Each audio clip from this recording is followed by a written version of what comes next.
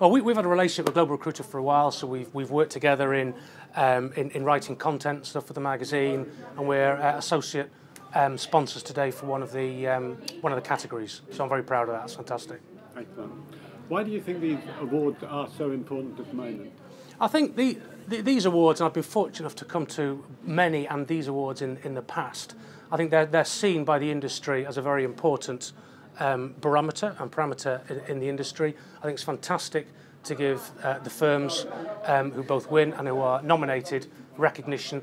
It's also a bit of a laugh and it's great to just get people together and there's a load of people I was hoping to actually invite but they're already here or sponsoring or whatever so it's a great get together of sort of friends and ex-colleagues so it's a good event.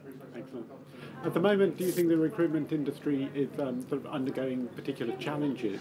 Yeah, I think it depends who, who you talk to. That there are clearly sort of micro and macroeconomic factors around, and some recruitment businesses will find that challenging. My own personal feeling is I, I, I think it's a moderately buoyant marketplace. I think recruitment, by very definition of the fact that there are relatively low barriers to entry, is a challenging and uh, challenging industry in itself with margins always um, under, under pressure. But I think therein lies the opportunity for the more creative firms to try and think outside of the box add more value, focus on the candidates and focus on the clients. So all in all, I actually think when you get a pressurized marketplace like this, it's better for the candidates and it's better for the clients because we all have to try a hell of a lot harder.